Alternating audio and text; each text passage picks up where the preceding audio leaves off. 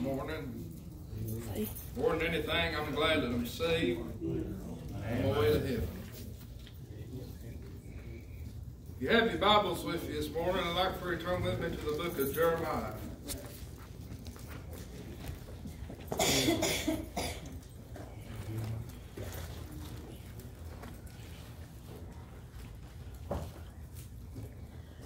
Jeremiah, the 17th chapter.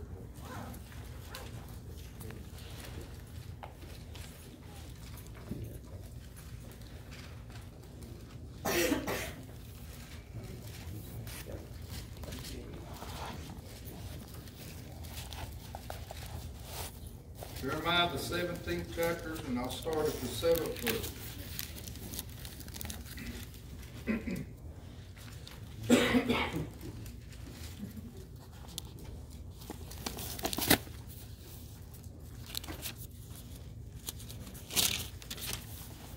Jeremiah 17 and 7. The Bible says, Blessed is the man that trusteth in the Lord, and whose hope the Lord is. For he shall be as a tree planted by the waters, and that spreadeth out her roots by the river, and shall not see when heat cometh. But her leaf shall be green, and shall not be careful in the year of drought, neither shall cease from yielding fruit. The Bible says, The heart is deceitful above all things, and desperately wicked. Who can know it? God said, I, the Lord, search the heart, I try the reins even to give every man according to his ways and according to the fruit of his doings. As I read that, thought about it, and began to think on our heart, the Bible teaches me that it's deceitful above all things. As I began to think on that, God began to give me a thought this morning. Those of you want to read along with me, you go over into the next chapter. You can read, God told Jeremiah to do something. Bible teaches me that he told him to arise and go down to the potter's house. Yeah. Why? And there I will cause thee to hear my words. Jeremiah did what God told him to. Uh, uh, he went down to the potter's house, uh, and the Bible says, Behold, he wrought a work uh, on the wheels. Uh, and the vessel uh, that he made of clay, it was marred in the hand of the potter.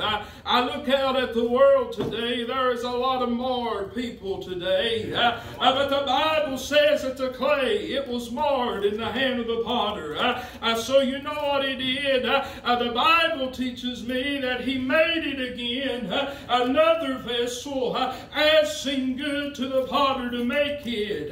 listen listen, friend, uh, uh, there's a lot of more people today in our world. Uh, uh you might be in this church house this morning uh, and you might be marred. Uh, listen, friend, I want to refer to you just for a minute. I want to refer to you as clay. I listen, you might be here today and you might be marred. Uh, uh, you might be scarred. there uh, might be something that's keeping you from being what you need to be.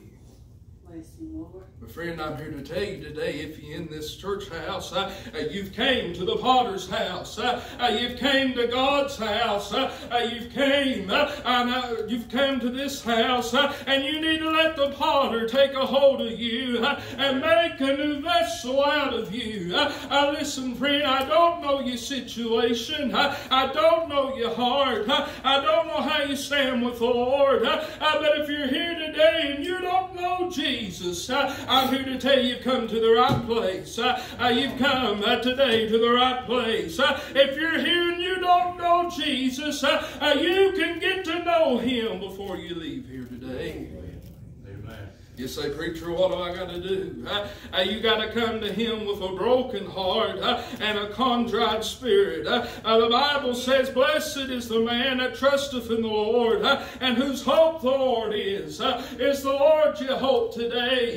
have you put your trust in him?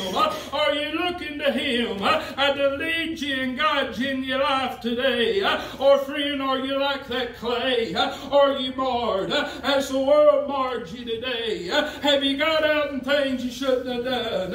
Are you a marred vessel today? I'm here to tell you today, friend, no matter how marred you may be, and no matter how broken you are, and no matter what's wrong with you, Jesus can fix it. Amen. The potter can take care of you. Amen. Did you notice that he didn't just give up on it? He didn't just turn his back on it. He didn't just say, Well, I quit. Uh, it's marred. I need to give up on it. There ain't nothing I can do. Uh, uh, listen, the Bible don't teach me that. Uh, uh, the Bible teaches me, yes, that clay, it was marred. Uh, but you know what he did? he just made it again. I listen, friend, I don't care what you've done in your life. I don't care how ugly your sins are. God can take your sins and wash them clean in the blood of Jesus. Amen. Amen. You say, Preacher, what do I need to do? You need to come to Him with a broken heart and a contrite spirit. Accept Jesus into your life. God loves you today.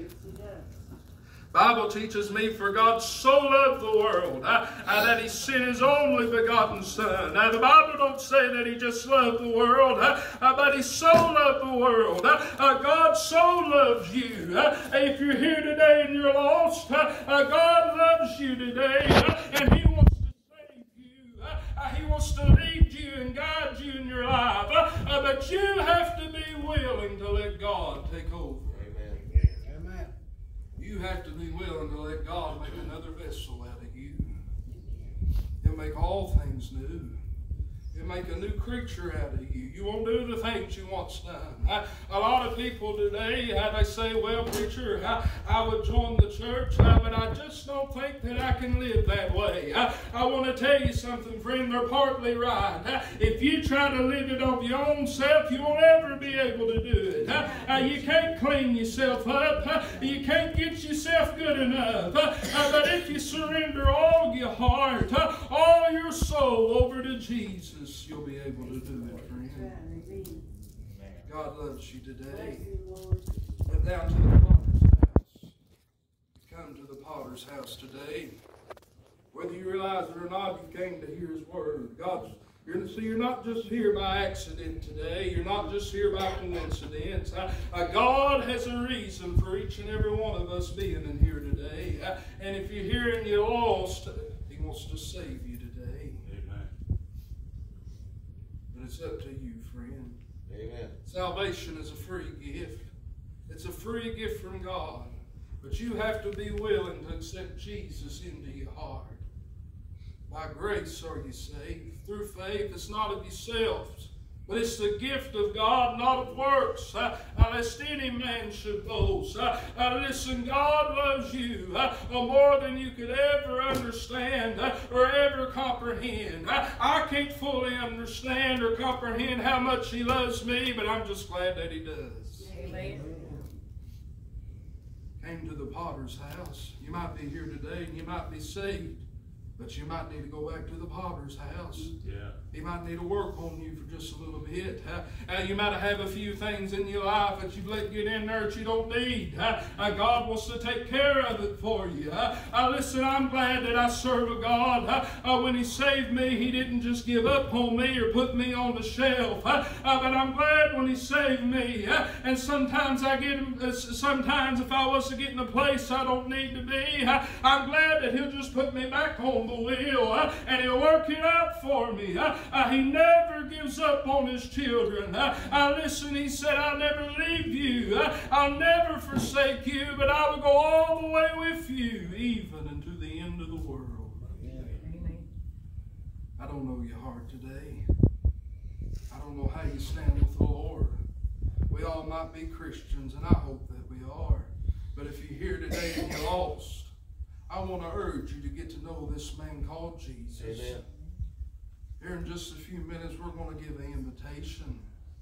I'm not inviting you to join the Wheelwright Freewill Baptist Church. I'm not inviting you to I'm not inviting you to do anything like that. The only thing that I'm inviting you to do uh, is to come and kneel and talk to Jesus. Uh, you see, friend, I could come back there. I could grab you by the hand. Uh, I could drag you up here. Uh, I can make a big show out of it. Uh, uh, listen, friend, but if you don't pray with your own heart, if you don't seek God with your own heart, it won't do you any good. But listen, friend, when you set up that godly sorrow deep down in your heart, and you get sorry that you sinned against God, and you begin to repent and cry out to Him, I believe, friend, that you'll hear from heaven. I believe that He'll in no wise cast you out. Amen. I don't know your hearts today, but you've came to the potter's house. You've heard his songs, you've heard his word. What are you going to do about it, friend? You have a problem in your life? Do you have a need in your life? Do you got something that God needs to take care of?